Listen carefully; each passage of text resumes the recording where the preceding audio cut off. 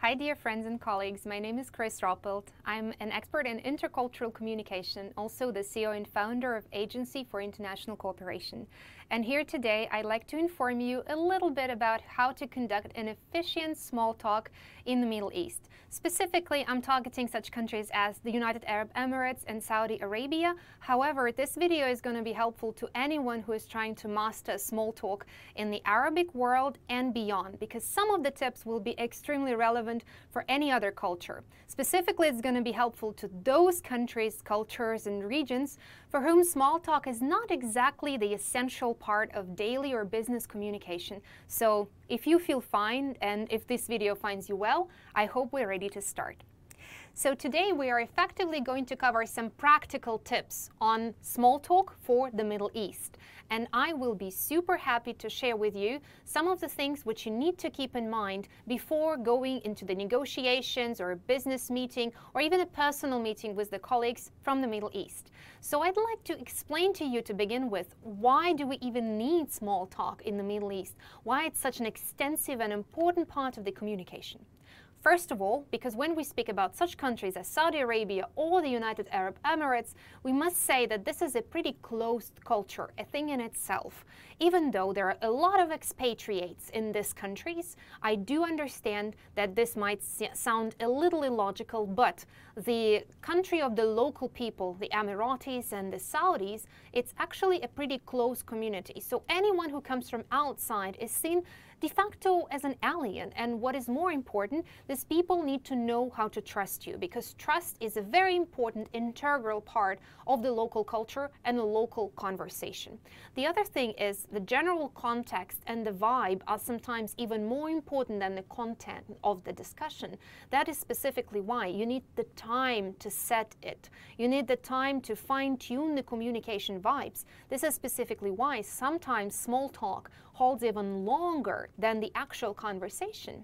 Another thing is it allows the interlocutors to learn about the personalities of each other. And even though personal life is something pretty tabooed in terms of the detailed discussion, it is still very important not to learn about the family or the spousers or the children of each other. It's actually very, very important to learn about the characteristics of another person so that, again, getting back to point number one, you learn how to trust them. There, then rush is seen as something low and undesirable. A person of a higher status, a person who is the master of their life, doesn't require rush to go into business straight ahead. You might enjoy this life, you might need to take time and to explore the person in front of you. So no rush, take it easy and take it slow how long and big is a small talk in the Arabic world or in the Middle East, as you might say that. And I'm specifically speaking about the Arabic world because Israel, as a part of the Middle East, is something very, very different. And Turkey is also not considered to be a part of the Middle East by the Turks themselves, to be honest. So, how is that actually defined as a small talk? First of all, this is defined as something quiet, lasting, sometimes from 5 minutes to 50, because time is not linear. We are not seeing time as something that is set from 5.5 to 5.25 p.m. today, but we are seeing it as something that is changeable, that is very flexible and non-linear. There is no very specific definition of when a business meeting is actually turning into a business meeting rather than is just being a communication of two people. Business may be discussed after the second or the third meeting, and sometimes a lot of European, American, or Russian clients are being very appalled by the fact that they're coming into a conversation and de facto none of the business is being discussed. But after the third meeting in a row, they see that there is a significant progress in the business dealing. Why? Because after the first, second, and the third meeting, the relation is already being established. So that is why it's specifically important to master the small talk, which is much longer than, Hi, how are you? I'm good. And you? I'm fine, thank you. That is much more and beyond than that. And of course, there is also a need sometimes to wait for a decision maker to come into the room to join the conversation. That is why sometimes a less senior members of the delegation might be willing to take time to start the conversation, to relax a little bit before the actual decision maker comes into the room. But don't expect that when the decision maker comes into the room, you'll rush and jump into business. Far from that, as I've already mentioned earlier. There are a couple of things that you might need to remember when it comes to the topics to avoid during the small talk.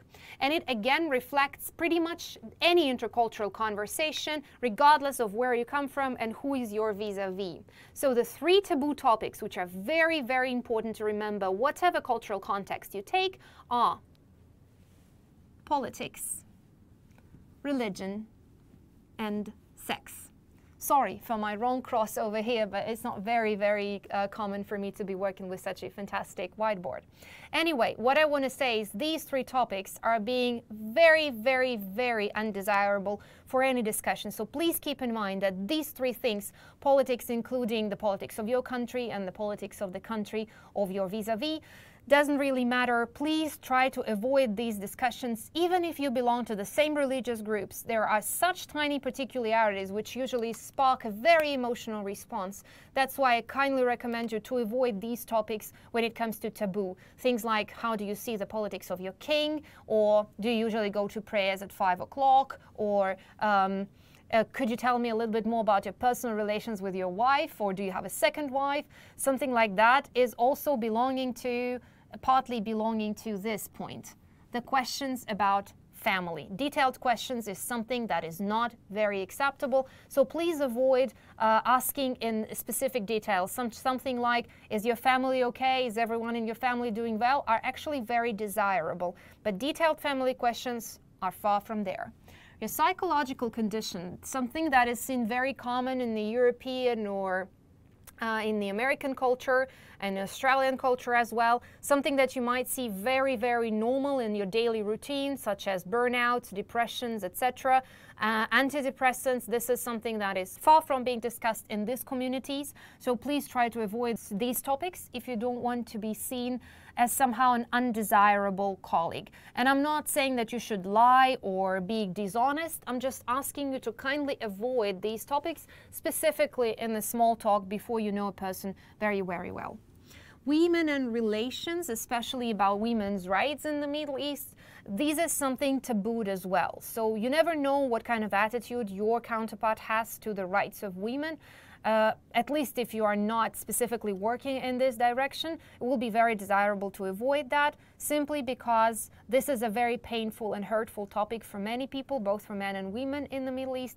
So the views might be very, very different, and again, it might be very, very emotional authorities as well, people who are in power, how they rule this specific country, how they rule this territory, and the authorities up the uh, corporate ladder ethnic origin. This might be also very, very tentative for people from different ethnic backgrounds. Questions like, where were your parents from? Like, really from? I mean it. I understand you are from the Emirates, but where exactly you've been you've been arriving from? This is something that can be very, very touching. So be beware of that and be mindful. And of course, avoid very direct criticism. Criticism to the people you both know. Criticism to the authorities, as I've mentioned here. Direct criticism is seen as something that can be later used against your vis-a-vis. Well, if you criticize somebody like that, would that actually be very, very okay for the people to be open and honest with you? Maybe you will criticize them in the long run. Who knows? Anyway, keep these things in mind, and I hope that you'll be avoiding, at least in the first small talk conversations with the new people, with the people you don't know very, very well, something, this is definitely something to be avoided.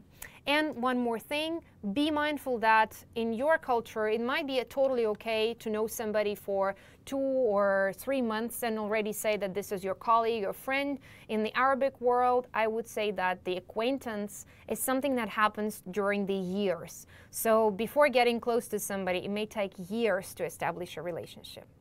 For now, I'd like to suggest you several questions and comments that I believe will actually be very, very suitable and effective for your first uh, small talk conversation. For example, start with a compliment. It's always very, very helpful. We really like at your office. It's very, very well designed, or we like your building. Fantastic interior.